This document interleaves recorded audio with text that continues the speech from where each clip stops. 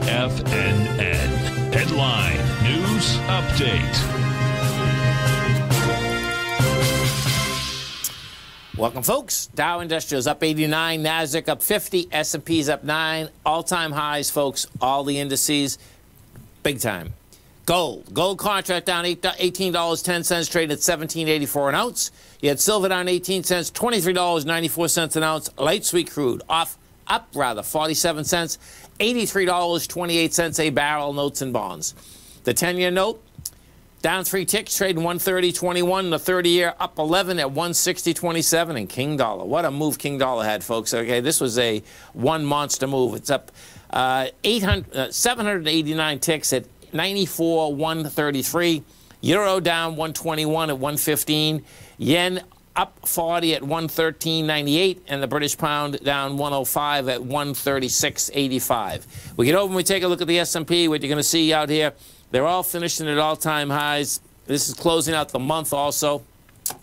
Uh, inside of the SPY, bottom line, you're at 459.26. Uh, NDX 100 is the, the, the, coolest one actually to look at. Uh, uh bottom line is that inside the uh, Qs on the daily, weekly, as well as the monthly, you have these last engulfings. Now, what happens with the last engulfing, folks, is this, is that it's a two candle, if it's, it's candlestick charting pattern but it's a two candle deal.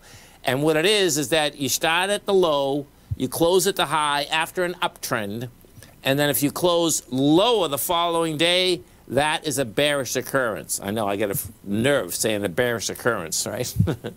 because as one of our tigresses is saying, there's no more bears left in this market. In fact, there's, there's an article inside Bloomberg today that the last, uh, since June, what month we in now? Yeah, since June, um, the short positions inside this market have uh, basically gone down to uh, fractionally of what they've been. So uh, if we do get a downdraft, folks, okay, there's not going to be buys on that side of the downdraft because that's what short positions actually do. You're buying to, to make it back.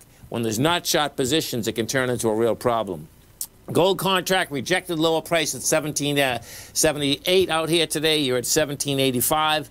Uh, silver down 16, 23.96. Have a great weekend, folks. Have a safe weekend. Come back and visit Tommy Monday morning. Kicks us off 9 o'clock. Great show. Have a great one, folks. Have a safe one.